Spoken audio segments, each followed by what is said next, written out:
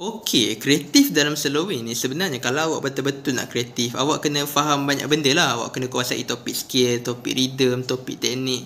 Sebab makin banyak benda awak tahu, makin banyaklah benda awak boleh buat kan. So makin kreatif. Tapi uh, saya akan cuba share tips yang simple lah supaya orang yang mungkin baru belajar pun dia boleh follow juga. Okey, so benda first kali yang awak kena buat ialah awak kena kena pasti apa tabiat awak bila slowing. Contohnya kan macam saya, bila saya nak solo dalam C major scale, saya punya tabiat ialah biasanya saya akan start dengan uh, scale yang bawah ni. Fret 5, fret 7, fret 5, 6, 8, 5, 7, 8. So itu habit saya. Saya akan start dengan scale yang dekat position ni dulu. Ha, padahal boleh je start dekat sini kan. Padahal boleh je start dekat sini. Tapi habit saya, saya akan start dekat sini.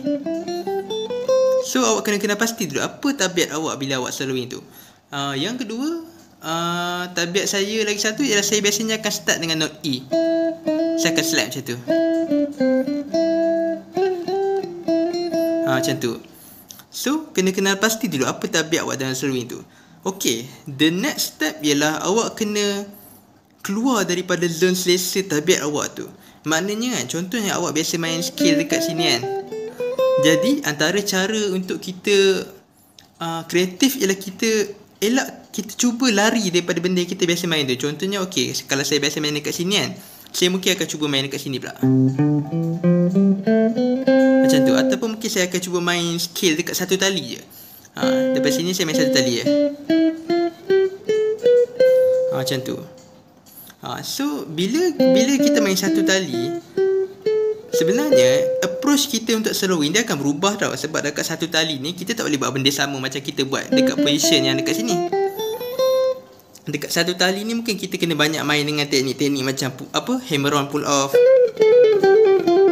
Ataupun mungkin kita kena main dengan teknik slide. Ha, macam tu. Kita kena kita kena ubah approach kita bila kita main dekat position yang lain macam tu.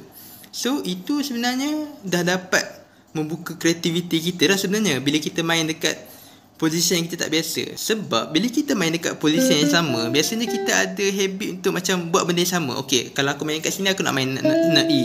Okey lepas tu aku nak pergi note G. So dia dah ada tabiat tau. Kita akan ada ada insting untuk buat benda yang sama.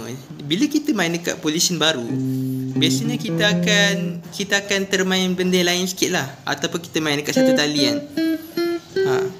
Bila saya main dekat satu tali benda tu dia benda tu dia tak biasa tau. Benda tu bukan natural. Jadi nak tak nak saya kena buat benda yang lain lah. Ha, macam tu.